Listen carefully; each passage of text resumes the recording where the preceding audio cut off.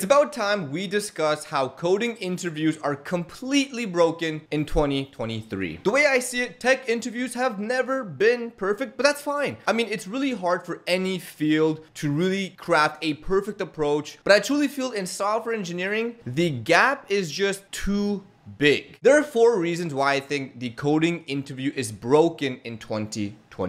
Number one is the algorithmic obsession. Number two is the culture fit vagueness. Number three is the marathon of a process. And number four are those damn recruiters. So those are the four reasons. Let me know in the comment section below which one you have faced during your interview process. I'm actually very curious. So let's start with the algorithmic obsession, aka LeetCode. Now we've talked about LeetCode and the problem with LeetCode on this channel before. Let's dive into a bit more detail. LeetCode style questions are designed to be hard on purpose. They test you on data structures and algorithm for the purpose of weeding out candidates who somehow just puffed up and fluffed up their resume with buzzwords to somehow sneak past the filtering process into getting a technical interview. And don't get me wrong, data structures and algorithms are very important even beyond just using them for a LeetCode interview. They fundamentally make you a better engineer. But to judge a candidate solely on their ability to regurgitate an algorithm I think that sets up both sides for failure. I've seen strong candidates with great experience, almost senior engineers, not get a job because they couldn't solve a dynamic programming challenge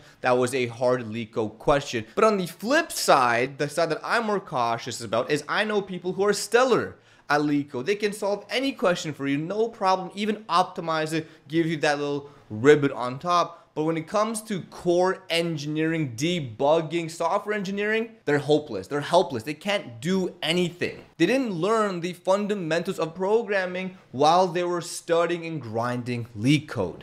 But I think another point to consider on why the LeetCode style technical interview is not the best approach is because you can be a senior engineer with five years of infrastructure experience using cloud, doing whatever, but if you find yourself in a position where you're out of the job and you need to start applying, well, you're gonna have to set time from a week to even a month to restudy data structures and algorithms, and even more specifically, just grind LeetCode, NeetCode 75, whatever it is, to get you on track and to pass your technical interview. And right now, that's very hard because the pressure cooker situation and you really put pressure on yourself that if you even get a technical interview, you really want to pass and impress your interviewers.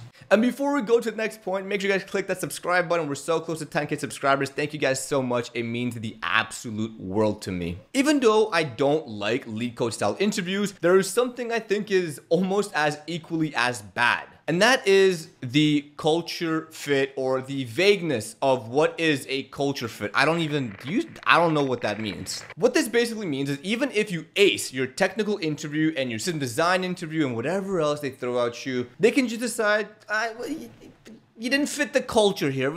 You, you just don't fit, okay? It's for your own good. We don't need you. You don't need us. It's let's go our separate ways which is such a pain because you just spent so much time grinding, studying, answering their questions, spending your time to even get to this position. And for them to just say no, I think it's important to know about the culture for a team, but let's just be honest with each other up front and at the beginning. So I think it's a team responsibility to set that up and for the candidate to read that and make sure there's no surprises down the line. And the third point that I know a lot of people have to deal with is just how fucking long these interview processes can be. So on my screen here, I have basically designed what happens in a technical interview through this chart. As you can see, there's essentially three stages, but the last one called the on-site, which is this bigger chunk here that's at the behavioral, technical, and system design interview, there can be more than just three. They can have multiple technical, multiple behavioral, multiple system design. It's just the on-site process. We can see the beginning, there's the recruiter screener, which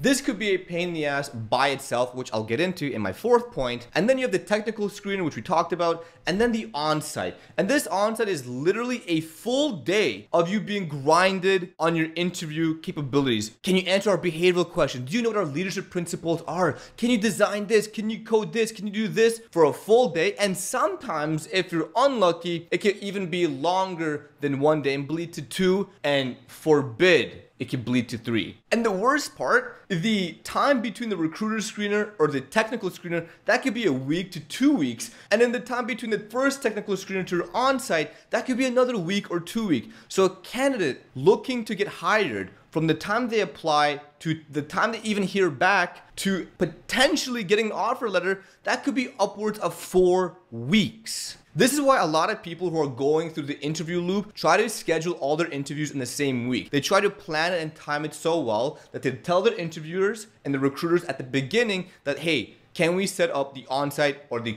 technical in this week because I'm going to set all of them up. And what this is is their interview gauntlet because they don't want to be spread. They want to constantly be under the pressure of learning and studying LeetCode or other behavioral questions. They want to get it all done and just like finals or midterms, just get it all over in one week. Hell week, but it happens and it takes so long and the planning really has to be precise for this to work out perfectly. All right, and for the last point, I think this doesn't get talked about enough We've all seen the memes, but it, it is the quality of the recruiters in software engineering or in the tech space. I swear, some of the worst individuals, and I hate to say this because there's some really good recruiters, but the bad ones really dilute and really leave a sour taste in the majority of programmers and software engineers' mouth. Most of the time, they don't know what they're looking for. They're asking you questions. They don't know what the right answer is, but they're trying their best, but they don't really care. And you're in this weird dynamic where they have to pretend like you matter to them and you have to pretend like you care about them and their questions just so you guys can get through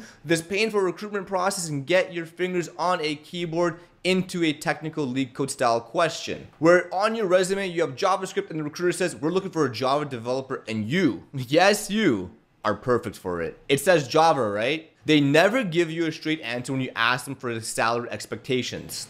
They always try to juke you in giving you a side answer and saying it's a range based on a bunch of factors that we'll go through in the interview process, which that's a huge red flag. You should find the salary expectations, the band, at the start of your interview process so you don't waste your time. But the thing that gets the most people the angriest is when the recruiter ghosts you. This is not only something that I truly wish there has to be a feedback loop so they can stop doing this, but it is also one of the most heartbreaking things to happen in 2023 right now. Getting a recruiter to email you back after you applied can make someone's day, week, or even month. So when you see that email and say, hey, we want to move forward with your interview process, can you schedule a 30 minute call with me where we can discuss your resume more in detail? And then you do it and you think it goes well, and you don't hear back from them for a week. So then you email them back and still no answer. So a few more days pass and you email them again. And then you find out two, three weeks down the line, they just completely ghosted you. And that is the worst. They should at least tell you straight up, hey, you know what? It was great talking to you, but I just find your experience kind of lacking. I don't think you're gonna fit for this role. I'm gonna move forward. Don't leave them hanging. A recruiter's responsibility should be to give the good news and the bad news. Don't have some golden carrot dangling in front of a candidate who's really hungry for a job because they've been looking for the past six months after being laid off in February. That is the worst you can do. And if you're a recruiter watching this video, don't do that. Be better. Be a good recruiter. So the next time I make this video, I'm talking about how good the recruiters are in the future. Thank you so much for watching this video. Make sure you comment, like, and subscribe for more. And I gotta leave you guys off with two things. One, what was your best interview experience? I'm curious. What was a good interview experience? Did you have a good recruiter? Let me know. And two, you gotta power it.